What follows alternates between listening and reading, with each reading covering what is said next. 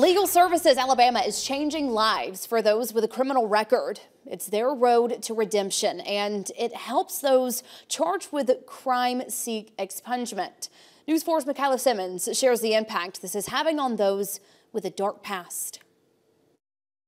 This expungement clinic here in Dothan has already seen over 50 people who walk through those doors who wants to change their life for the better.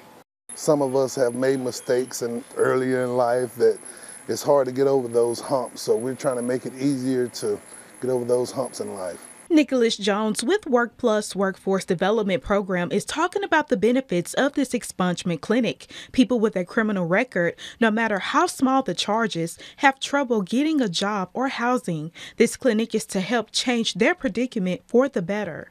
I believe it has a tremendous impact, not, not just for them going into the workforce, but just giving them a better confidence and a, a great bit of a burst of self-esteem that um, they hadn't had in a while. Attorneys donated their time this morning helping some of those former defendants start the expungement process, which is not easy or guaranteed.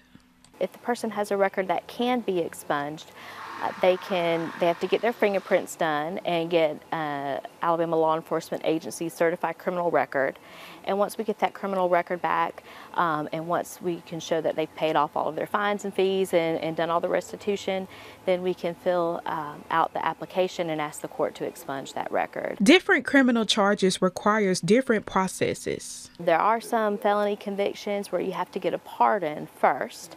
Um, and so if that's the case, we're helping folks start that process to ask for a pardon.